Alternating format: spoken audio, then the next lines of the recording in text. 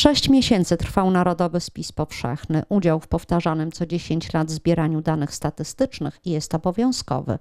Odmowa udziału w spisie ma też swoje konsekwencje prawne. Może być to kara grzywny sięgająca nawet 5 tysięcy złotych. Najwyraźniej zagrożenie grzywną nie zrobiło wrażenia na niektórych mieszkańcach Suwałk. Jak ustaliliśmy, w Suwałkach spisało się nieco ponad 88% obywateli. Spis obejmował również nieruchomości. W mieście spisanych zostało blisko 90% mieszkań.